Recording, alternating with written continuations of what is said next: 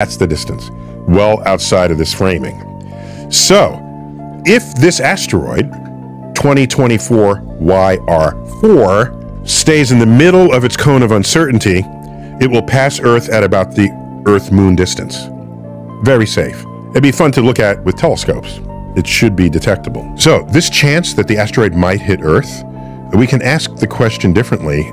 Say, if it were to hit Earth, what is the impact corridor that it represents? Since we can't pinpoint it exactly just yet, we can tell you what that part of Earth looks like. So it begins here, just south of the equator in the Pacific, crossing the northern portion of South America, crossing the Atlantic Ocean, crossing northern Africa, crossing the Arabian Sea, India, and it ends right here in Southeast Asia. So this uncertainty is the intersection of its path and Earth's rotation.